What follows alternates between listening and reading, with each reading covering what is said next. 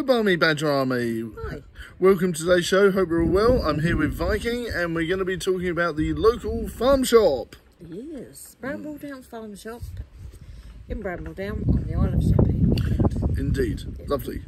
Indeed. fa- one of my favourite places to go. Yes, mine too. Actually, it's really nice. Just for like local shopping stuff. Yes, and it's quite cute, isn't it? And it's nice. It is because it's not like a gigantic farm shop. Stroke.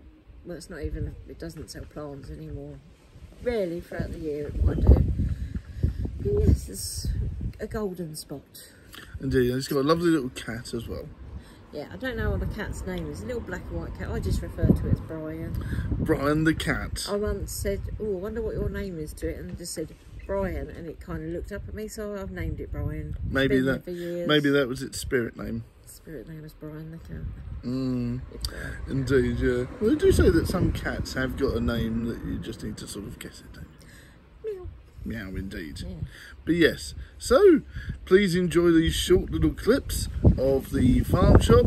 Thanks to Viking, indeed. Yes.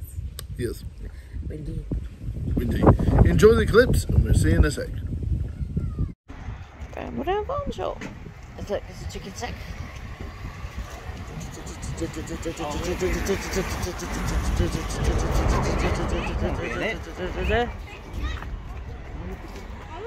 Little garden centre.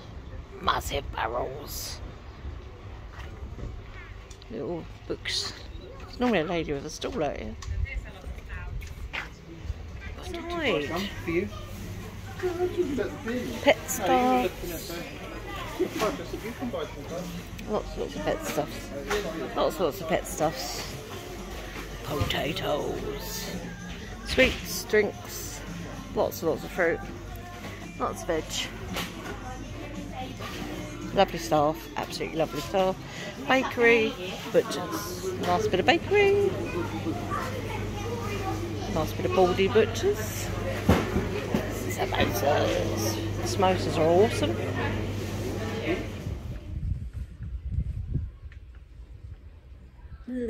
Bleh. Well, I hope you all enjoyed the clips, and that was a great little vlog. Thanks to Viking, very quick, very sharp, very lovely. But yeah, I would say that um, if you want to get some cheap produce from there, it's really good, But it's not, it's just local. Just- local, and a good bargain if as well. you are able to and it's affordable for you, try to shop as local as possible. That's It's it. It's not just local food produce, that's, that's stuff made locally. That's So it. try to keep some of your high street going if you can. That's it. Because obviously everyone moans, "Oh yeah, Wilko's is shutting down." This Uh, shop's shutting that. down. Let's go for This shop's shutting down. This shop's shutting down. It's because no one goes in them anymore. No one goes in them. So what do you expect? If no one goes in the local shops and the, the local malls and the local le- leisure complexes or whatever they're called these days, then then it's gonna shut, isn't it? It's like We want to shop for local people. Right? It's like no one went in game. Yeah, everyone's like, oh, game's shutting down. You know why? Because no one went in there. And calm down. Calm down. And the main reason why the one in Romford's shutting is oh. because it, it slapped right bang to CEX. Game was there first, and then CEX has obviously driven it out of business. No offence, CEX. No, no, no. Uh, don't put it down to CEX because that's second hand. So if you want a new game when it comes out, you're going to go to game. Yes. you don't like it, you go to CEX, you go and sell it to them and get some money back. Yeah. Get other things in game. Problem being is that game don't earn enough money or didn't earn enough money That's it. to keep the stores open because local councils and things charge quite a lot of money for um, rates after well, they're three to six months when they change the rates. So this is why people's high streets are going, but the councils there are just going, well, we won't halve it down anymore, That's even it. for little like in, independent companies because they want to make money. I'm like, well, you're not making any money. There's nothing been in that shop for two years. That's it, yeah. You're not making any money because there's nothing there. It's like, I'm sure that there's people in the audience that would empathise. Like, I walk past Debenhams and stuff. Yeah, there's stuff in my local Debenhams now, but it's like, it's not that great. I would have rather Debenhams was still there. You know, and it's a real shame that big, sort of solid companies like that go. You know, Debenhams was a big pillar of uh, community. We get back to the farm shop. Yes, let's get back to the farm shop. Yes. Omega ADHD is- The farm shop is nice. They've got a car wash outside. People wash it by hand. They do a great job. And got a chicken shack. Chicken shack. places to stop, just you know, burger wagon type thing. That's They it. used to have an ice cream one there last year, but that's not there this year. And they've got the seafood store they've had for donkey's years. It's still That's there. it. Baldy It wasn't- Butchers. wasn't open the other day when we went there, but No. it's still there. Yeah, you've got Baldy Butchers. You have the few little planty type stuff out at the front. At the, Mhm. the, um, Kraken Media got some banging goat there the other day. Yeah, Baldy Butchers. You got some goat, and we had curried goat. Curry goat, not coat curry. No, we didn't have goat curry. We had curried goat That's it. um, and rice and peas, which I Mm. did rice and peas. Very nice, very my yummy, yes. Very yummy. Boyce's, Bakery, which used to be Lazy, Leysdown Bakery, which is now Boyce's Bakery. Mhm. They do like good selection of cream cakes and they do synthetic cream cakes. Banging. Suits you, sir. Uh, They do some nice stuff. They do some like you know jars of locally made Jars of. What? Jars of Jars dirt. of dirt. I've got a jar of dirt. I've got a jar of dirt. No, I haven't. No, no. No. But yeah, they were really nice, and I would say the sandwiches were smidgen expensive, but other than that, everything else very are- reasonably priced. They are massive though. They're, They are. they're, they're a, like a little sub. I said little sub. They're like, Doorstep. yeah, again, nice, nice. There's cards, so I didn't But yeah, there was a big doorstep one, so they are worth it, but they are pricey. I did enjoy. Uh, I think we had some cakes there the other week, and they were really nice. And they, you had a Chelsea bun. Yes, not Chelsea Smile, they're dangerous. But Yeah, yeah, Chelsea buns are nice. They wouldn't suit you. No, they don't suit anyone really. But they do like fresh fruit and veg, weird fruit and veg, which Yes. most people that you know live in cities or near cities will not think is weird. This is one of them down in the middle of nowhere. Yes, and uh, there must have I must admit there was bits and pieces I was looking at going, what the hell's this? It's like a little pie. What was that? It was like um, Oh, that was um, a courgette. yeah, it was like a a, courgette. So the yellow thing that's that sort of like is it does yeah, it does look like a little pot. yeah, it was a It little pie, yeah. To me, that's not a weird thing because that's like normal, like locally grown stuff.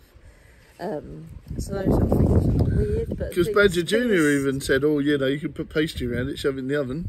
I've always been used to them selling things like um, yams and things in there because they've always done that. Mm. But they're, they're starting to up it to sort of like uh, first time I think I've ever realised that they sold plantain in there, Yeah, and they weren't tiny; they were huge.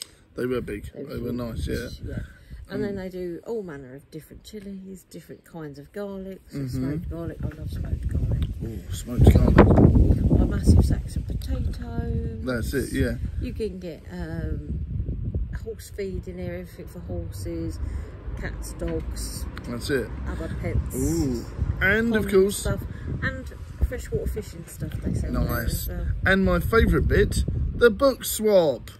That's at the front. I've had that there for years, and, and up until recently, I just assumed all the books had been there for years because there was thousands upon thousands Yeah. of books. But people obviously haven't been swapping a book. They've people have been taking a book, and there's no charity thing at the No. No one's been donating to charity. They've got charity containers inside, which did look like they needed to be emptied. So Mm. hopefully, someone's been donating. Hopefully, I will be refreshing it by putting some more books on there and putting some DVDs there as well. So that'll Yes, be had a few DVDs as Mm, well, a mm. collection. Oh, they they sell um, log burning stuff, so yeah, That's it. Perhaps the ones that we've watched from the charity shop we'll put there instead, and then it refreshes that as well, which I think. Coming out of holiday season, they probably sit there for another year. And then I'll borrow them again. Yes. Yes, but the first time we went to the book swap thing, there was a lovely little lady there, wasn't there? She was selling, like, local ladies selling, like, wax melts. Um, yeah, no, she was really sweet. as well. She was That's very it. helpful because she wanted to get a book and she helped you get the book. That's it, which is very kind of her. Picked up a, um, a sci-fi book for you, didn't I? Because you like the original I sort of like old-fashioned really, really artwork. old, sort of like 60s and 70s sci-fi books. That's it, Um, yeah. They're easy to read and they're quite, they're quite cool. That's it, yeah. Whereas I picked up, um, I'm, need to start reading the hard. I like old school stuff, so I'm reading the Hardy Boys at the minute, Dennis Wheatley, and I'm going to start reading some uh, Demon Headmaster books next week, which is going to be cute.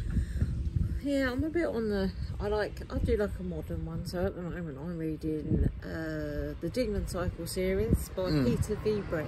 I can't recommend them enough. Mm. Tell us what books you like in the comments below. And thank you very much, everyone, Oh, for watching. go off- Go on. What's your favourite veg? Uh, Got you right off guard. Ah. Go on. Favourite veg? not baked beans. No, that's No. not really. That's a. I can't even pronounce what it's called. Like ling something. It's basically a bean. A bean. I Not like. veg. I like potatoes. Potatoes. That's that's a starchy veg. Come on, Car- vegetable. carrots. Carrots is carrots is a vegetable. Carrots is a vegetable. Um, I can't even pronounce my favourite one. It's like a romaine in. I mean, It's basically a green cauliflower, but the whole thing is like broccoli's all right. geometric. So all the little bits are a tiny version of the actual bigger thing. Oh, If you look at them and they go around in spirals, and each tiny little thing, it's like Inception in a vegetable. Okay, well, let us know So, what that is. If you know what that is in the comments, let us know. Yeah, But yeah, no, I'm a big fan of like sort of root veg. I would say I like a nice root veg, like a good old hearty parsnip. Indeed, Parsnip and a carrot. yes, good old parsnip and a carrot, What about a swede? swede, that sort of Turnip. turnip. Turnip. Yes, all the root veg, all the root veg, and not kale. Kale can get in the bin. You don't like it? We don't like kale. I like it. Kale, no. It's like Sprouts can do one. It sprouts. I love sprouts, especially fried. Bit of butter, Right, mm, cheese. if you deconstruct a sprout, chop it up, butter, bacon, chestnuts. I'll eat that. That's nice. Deconstruct. You mean you chop it up into the tiniest bit possible, turn it into a foam, put it on a plate, and go, hmm, No, not quite. sprout foam. That. No. Yes. No. See, what I love is sprouts, bacon, cheese, bit of milk, Cheese. salted. Hang on. uh, Bacon, cheese, and a uh, bit of. Crackers coming through with another spoon. Oh, we got another quick spoon before we go. Spoon. So, because I've velveted the meat, Right, hello. there's a bit of bicarb on it. Oh, Okay, okay. It's, it's gone a bit weird. But try it. let's try. Is it still alright? Hmm. That's still good. Yeah. Still good. It's changed, changed a little bit, but it's still good. Still good. Right. Yeah, at this rate, people are going to be asking for a sweet and sour curry review. Right. Okay, look after yourselves. Keep safe, We keep well. Much love, everyone, and see you in the next vlog, video, stream, or short. Thank you very much for watching this uh, local video about local produce and local shops. Support your local businesses. Indeed. And tell us some of your favourite local businesses that you support in the comments below. And don't forget, if you can, support the show with the 99p membership as it really does help and will help us make new films, new content, and new stuff. New stuff. And more reviews. And feed them Jaffa biscuits, Jaffa cakes, Jaffa pies, whatever. That's it, indeed. Right. Jaffa. Jaffa Cakey. Right, indeed. And please don't forget to drop us a line with your weird and wacky ideas for films in the comments, and then you never know, they may be turned into reality. Yes, we like this. Yes, we like this. We're currently working on a new cringe dating, and we are currently working on Essex FBI Investigates Forest of Ash, which is funnily enough the sequel to Forest of Ash. So yeah, Tumbleweed. Tumbleweed. Yeah, and if you haven't seen those, please watch them because they're good. Mania, because that's hilarious. Begetomania, and of course um, our other favourite, which was uh, the Sauce. Sauce. No, it wasn't. That's not a film. It was, of course, Excellent Adventure, which was hilarious indeed. Excellent which features the return of the meditation ghost. Zzz. Yes, because there is an agency one. Ghost, There- yes. There's an agency. That's it, indeed. Yes. and let us know if you can come up with an idea for a meditation ghost film. I'll be willing to listen Ooh, because that'd we be. could get this all done for Halloween. Come on, have some ideas. have some ideas. If you guys can think up a crazy. plot line for a meditation ghost theme film, I would do it, or even a short. Meditation cringe dating. Oh God! The meditation ghost. Oh, no. Go on a date. Right there we go. Ah. That's a banging addition to. Oh, That is gonna- sheet now. That is going to be hilarious. That is going to be banging, and Yeah. that will be in cringe date in the sequel. Right, that's something to look forward to. Thank you very much for watching, and if you want to expand upon that idea, hit me up. Indeed, Viking is going to be filming a short film for us all very soon. We're going to sort that out. Uh, it's going to be an ultra short one and it's going to be really spooky. So it's going to be really good. And of course, Kraken Media should be working on one soon. Fingers crossed, please. Right, bye. Bye. Bye. Bye. Bye. Bye. Ah, well. Bye. Bye. Bye. Bye. Bye. Bye. Bye. Bye. Bye.